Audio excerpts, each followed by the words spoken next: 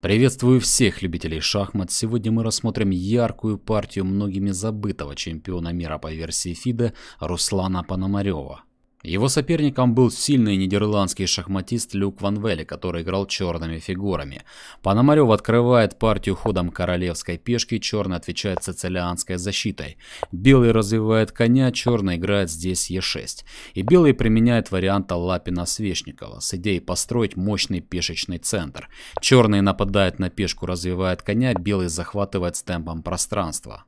Атакованный конь отступает на поле d5, Руслан Пономарев развивает слона, готовит рокировку в короткую сторону, черный нападает на слона, слон уходит на поле b3 и продолжением d6 Люк Ван Велли подрывает центр. После размена на поле d6 белый обеспечивает безопасность королю, черный развивает фигуру по направлению в центр. И Пономарев устанавливает пешку в центре доски.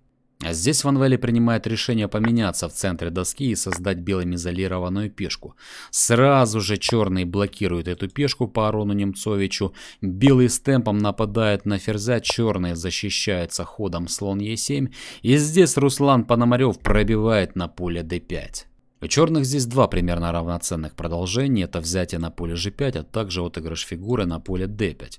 Люк Ван Велли выбирает именно второй вариант. Белый теперь атакует с темпом ферзя, и здесь необходимо было отступить ферзем именно на поле d8 для того, чтобы защищать своего короля. Но вместо этого нидерландский шахматист бросает своего короля на произвол судьбы и отступает ферзем на поле f5. Теперь Пономарев меняется на поле e7, выписывает шах через поле а4 и после оборонительного слон d7 играет ферзь а3, перекрывая дорожку на королевский фланг. Рокировать нельзя, поскольку будет висеть конь на поле e7. И черный король надолго застревает в центре доски. Кроме этого, черный король нарушает взаимодействие черных ладей и, по сути, черный в этой позиции играет без королевской ладьи. Здесь черные пошли конь d5, возможно с идеей подменять фигурки и тем самым облегчить себе оборону. Где-то перевести ферзя на поле e7, поменять ферзей и перейти в эншпиль.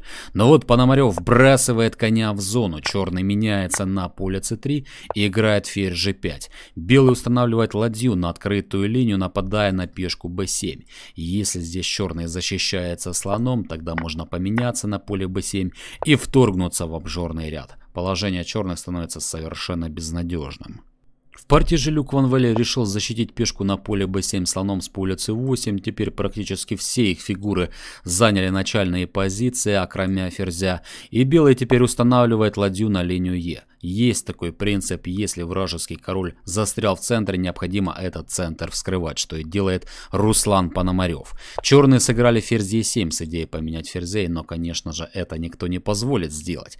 Ферзь a4, белые дают шах королю. Если черные защищаются от шаха слоном, тогда можно поменяться много раз на поле d7, затем забрать пешку на поле b7, ну и что делать черным? Если король идет на d6, тогда падает пешка на поле f7. Но отступление короля на поле e8 наталкивается на ход d5 и белый выигрывает еще одну пешку, черная ладья по-прежнему вне игры. В общем, осознав тот факт, что в этой ситуации черному королю никто уже не поможет, он решил с горя пешком отправиться в дальний угол своего замка.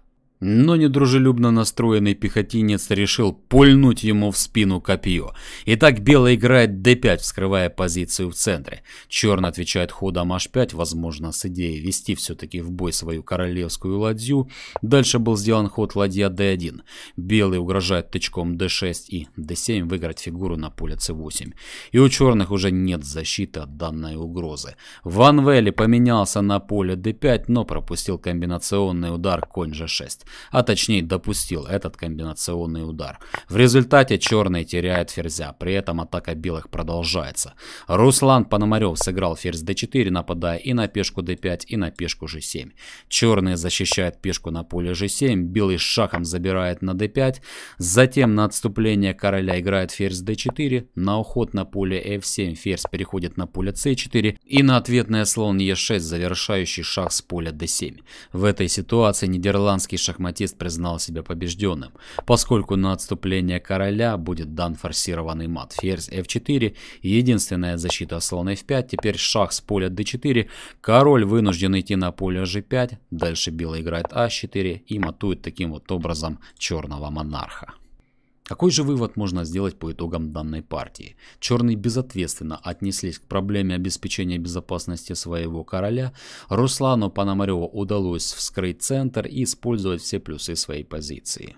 Напишите в комментариях, как вы думаете, почему Руслану Пономареву так и не удалось стать элитным гроссмейстером. Также не забываем ставить лайки, подписываться на обновление канала, поделитесь этим роликом в социальных сетях и до скорых встреч!